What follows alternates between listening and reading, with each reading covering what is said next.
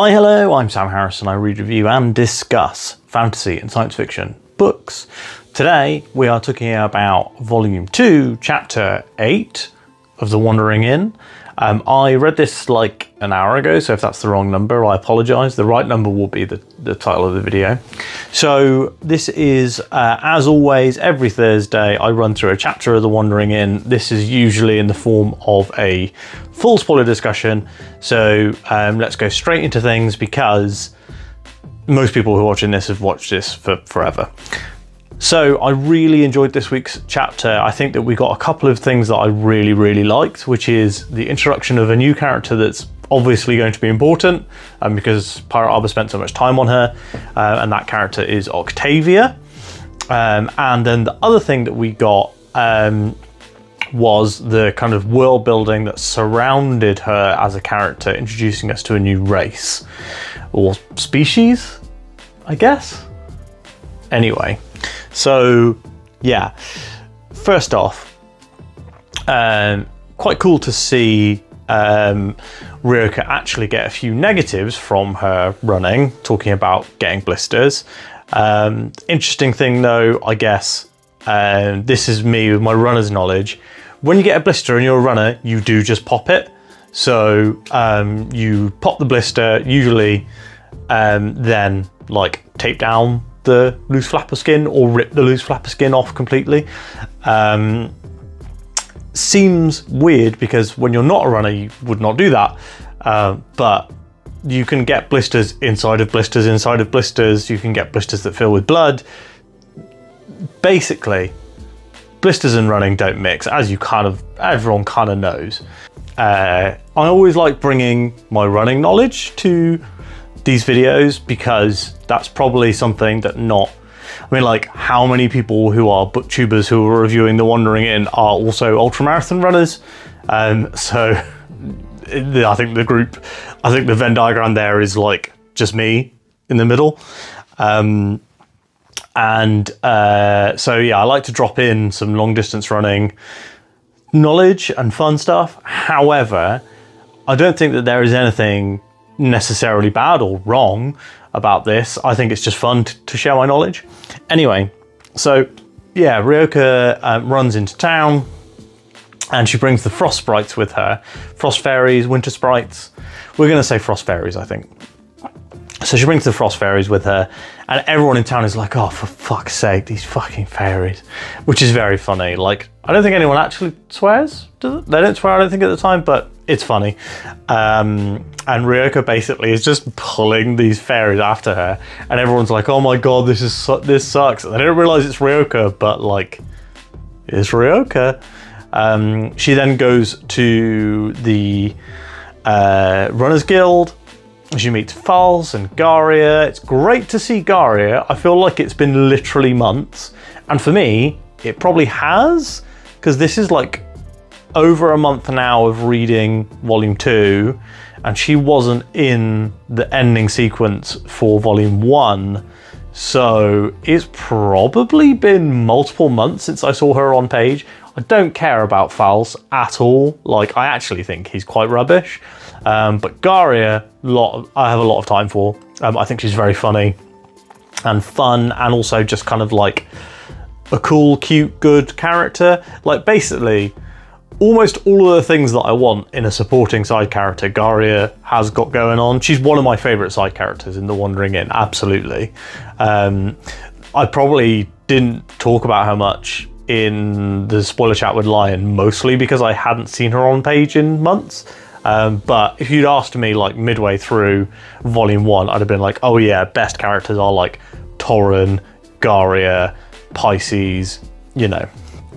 So as as ever, a big fan. Yeah, so Ryoka goes back to the Runners Guild and she has a conversation with Fals and Garia about being a courier. And she's like, oh yeah, I'm definitely going to be a courier. And then Garia and Fals are saying the thing that I think most people in the audience are probably also thinking, which is like, without leveling and skills, you can't be fast enough or strong enough or endurant enough to um, be a courier. So, uh, you know, it's it's tough. but maybe Ryoka needs to get those skills to pay them bills. Um, unfortunately, I don't know how or where Ryoka goes with her character type. I feel like she's on the one hand, she's very stubborn and she would be like, no, I'm not going to gain skills. But then on the other hand, she also feels like the kind of person who does what needs to be done. Um, and so I wonder if we'll reach a point where she does go like, yeah, actually, I need skills. And she does already also know how to cast her light spell, um, which it's not really a skill, I guess. It's an interesting concept in terms of what she's doing. Like, is magic skills? Um, I guess not. Almost like they're treated in the Trails video game series where you have like arts and then crafts. So arts are like magical spells and crafts are like personal attack skills. Um, so yeah, interesting to see that kind of line where she's able to learn a magic. I think that she also couldn't learn more or high level magic without leveling up in uh, or taking a magic class. I'm really interested to see where Ryoka's whole character arc goes with this because she's kind of not interacting at all with the main power system of the world. Um, so she's all it's it's almost like so in a lot of get books and stuff. I really like seeing the non-powered perspective in a powered world. So like seeing the perspective of um, somebody in Mistborn, for example, like Steris, who has no um, no, not Steris. There's somebody in Mistborn who has no magical abilities, and I really like seeing them, uh, their POV as a character. I think it's good. And then uh, we've also seen that. Um, in fact, that's uh, one of the things I really like in Of Blood and Fire, the um, Of Blood and Fire, the Bound and the Broken, the uh, fantasy series by Ryan Cahill. Um, Wandering Inn fans, you would probably like The Bound and the Broken. It's my favourite fantasy series of all time. Very approachable, very easy reading. Um, it isn't serialised, however, you do have to read individual books. Um, but in The Bound and the Broken, you have Dan, who has no magical abilities, and whenever you get his POV chapters, it's, it's quite fun. Um, I really enjoy seeing his character um, and seeing what's going on with him. And then the next thing I was going to say was so they have this conversation and they're talking about how Ryoka can't be a courier, and Ryoka's talking about needing money and all this sort of stuff, and she uh, she goes to the um, receptionist and is like, "I want to see the runners runners guild rule book." I remember something from when I joined, like an obscure rule, and uh, well, she says that in her narration. Uh, this chapter, by the way, is fully Ryoka's POV, and it's you know in the first person, which I do really like. I much prefer this kind of chapter where it's focused on a single POV than the chapters where the POV just kind of seems to slide around between characters, which we've had a lot of when Erin and Ryoka have been in the same run together. So it's like one paragraph will be Erin's POV, and then the next paragraph, without changing scene or without having a clear delineation will just be a different POV. And I don't like that at all, really. I'm much happier to have this more classic fantasy novel style of a single POV. Um, I also don't hate first person narratives. I read, you know, the Dresden Files, which is all first person, um, and I have been reading the Sun Eater series, which is first person. Um, I'm not anti first person at all. I do think I prefer third person, but first person is actually often easier for audiobook uh, for me. So if I'm reading an audiobook, I often find it more uh, more digestible if it's first person. Although this chapter I, I did read, uh, I got the old uh, got the old Boox tablet out and read it on that. It's an e-ink tablet that's got like all the apps and stuff, and I read it on there. And lovely time as always. Love reading the ebooks. Um, I'll be very sad if I ever catch up to the point where there are no ebooks anymore, because I know that it's um, the release schedule's a bit wonky sometimes with the Wandering Inn, because I, I feel like there was like three Wandering Inn volumes released last year, but then like nothing for a year. Um, but yeah, really looking forward to uh, reading more of the series, as I always say. So um, there's definitely something interesting going on with Ryoka and this rule from the Runners Guild.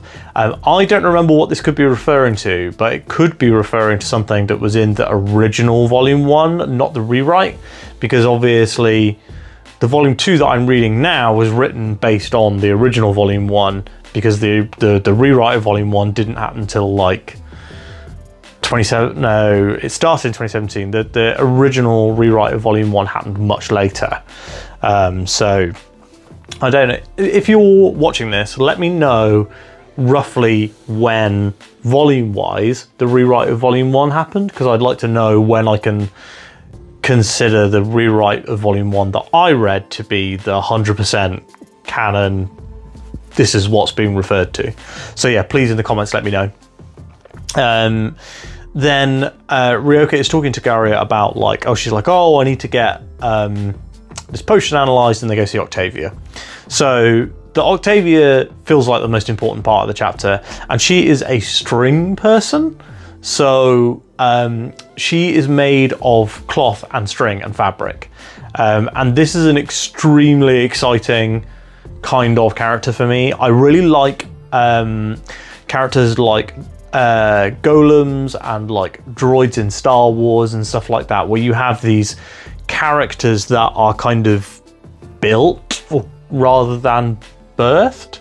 Um, I don't really know how it works with the string people yet, but it does feel a lot like she was made, um, you know, man-made, and in a in a way that a person who's birthed is not.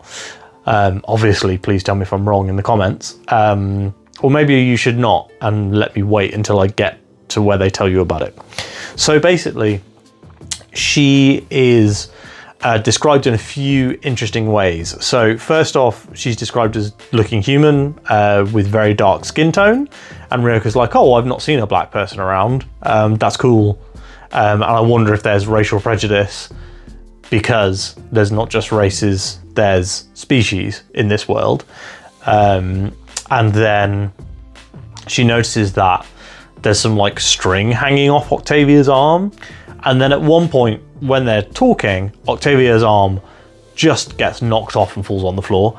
Um, and uh, the arm is on the floor, there's string hanging out of it, and Ryoka's like, um, uh, and then Garia's like, oh, don't worry, she's a string person. Which is interesting. Like, does Garia know that Ryoka's from our world? It's been so long since we've seen Garia. Um, I'm sure she doesn't know. Um, but she might have a suspicion that there's something going on with Ryoka. I don't know whether in the world of the Wandering Inn you'd be like, oh, she's probably from another world. Or you'd be like, was she, you know, a shut-in who's stayed in her house her whole life and has you know it was kept captive her whole life or something like that because you might because it's an inherently magical world you might actually jump to the magical she's from another world rather than the mundane of wow was she kept in her dad's basement um, and abused or whatever. So interesting. I wonder I'd, I'd like to know what's going through garia's head when Ryoka clearly doesn't know about important stuff. Like she didn't know about the like uh, port city um, first landing um, and like didn't know anything about it, like how far away things were. Interesting to see uh, they were talking about distances as well in this one. So that was kind of an important but like small nugget of a world lore, like world building lore drop that the continents are insanely massive. So they mentioned that First Landing is like the northernmost city and it's 3,000 miles away, but that um, isn't even like the midpoint in the continent, it's in the northern half.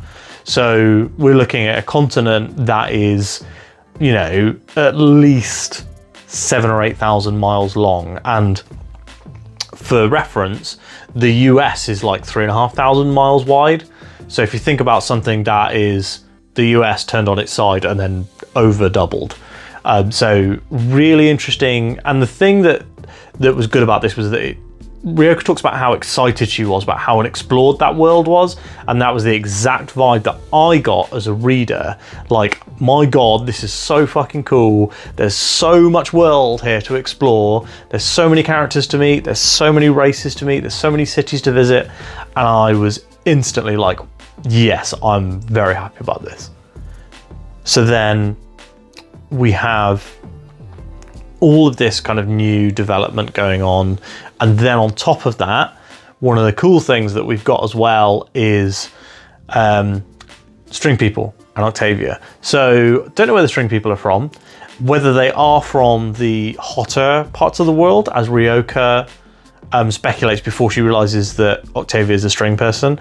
I love the Octavia's name, by the way, and I like, like, is she called that because she's the eighth child in her family or something like that, the eighth creation. Um, I always love um, number related names. Octavia is also just a generally cool name. Octavia Butler, blah, blah, blah. So yeah, I like I like Octavia a lot. She has a lot of potential for me character wise. Um, I like that she's like a slick salesperson. Um, there's lots of fun stuff going on with Octavia. Um, and I'm glad that she's very clearly important because we spent so much time with her and so much time uh, talking about her character as well as the thing that makes her interesting and magical, which is that she's a string person. Uh, what are string people, you might ask? Uh, you probably not because you've read this if you're watching this video. String people are people made of fabric. Um, so she's uh, Ryoka talks about how she has her arm feels like cotton, and that she has inside her like fabric bones and fabric that is designed to look like sinew and muscle and veins with blood in them. Like super exciting and interesting, and I really, really want to know more about this character and about string people, where they come from, how they're made. Um, don't spoil it for me. Uh, don't tell me in the comments anything that I don't know yet. Um, I uh, did actually get sent last week um, by a viewer the um, link to a Wandering Inn wiki that you can set by how far you are in the series, and that is genuinely like a massive game changer. It'll be really helpful. Um, so yeah, really looking forward to diving into that one uh, when I make videos in the future. I did have a quick look today and I saw that Octavia actually was already in volume one. Um, so maybe that is uh, something that I'm going to go back and have a quick read through to see if I can see where she was referenced. Also, uh, this is not related to this chapter, so I'm really looking forward to. So we found out also that the chap, the potion that Teriarch gave Ryoka is like a pure, perfect potion, and um, Octavia was like basically offering to give everything, like her right arm to get it. Um, but Ryoka was like, no, I'm not interested. Um, so that scene will probably come back in a couple of weeks' time. Um, and yeah, looking forward to seeing more Octavia, honestly. Um, but the one other thing that's happened today is that Daniel Greene has dropped his Wandering Inn video.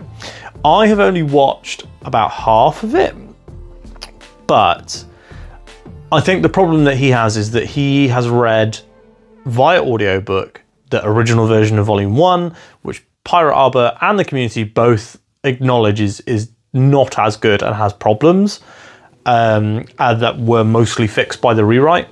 Um, when he posted on Twitter, right, so he, he tweeted that he was reading Volume 1 and he was like, complaining about a few things that I was not. I was like, I don't remember seeing you talk about this, seeing this in the book. I was re- replied to him was like, hey, if you're using the audiobook, that's on version one of volume one, and it is a massively inferior version. You can read this. You read the new rewrite on the website now. Um, here's a link. And unfortunately, he obviously didn't see my tweet or didn't care. Um, and he, in fact, talks in the video about how he spoke directly to uh, the Wandering Inn team that works for pirateaba about his video. And it seems like he's kind of misunderstood a few things um, or not, you know, not asked the right questions. And Obviously, it is not his responsibility to ask the right question. Actually, as a butcher, I think it is your responsibility to ask the right questions. But um, I think there's going to be a little bit of backlash from the community about his video. Um, I would just say, if you're a huge Wandering Inn fan, go into it knowing that he's quite negative about series. Um, and it's an entertaining video because Daniel Greene is entertaining. Um, yeah, I like Daniel. I watch a lot of his videos, um, and uh, he did kind of. He was one of the first booktubers that I really found and enjoyed um, when he was talking about Sanderson stuff, when I was reading all the Sanderson books. Um, but I don't. I think he's missed the mark on Wandering Inn. I have to say. Um, I'm going to finish watching the video now, uh, but I literally had to stop it because otherwise this video wouldn't go up on time. So if you have been watching this video and you've liked it, please give it a like. If you'd like to talk to me about anything that happened in this chapter or just about the Wandering Inn in general, please drop that down into the comments and I will chat with you there. And of course, subscribe to the channel if you haven't already, because every little subscription helps. Thanks so much for watching, and I'll speak to you tomorrow.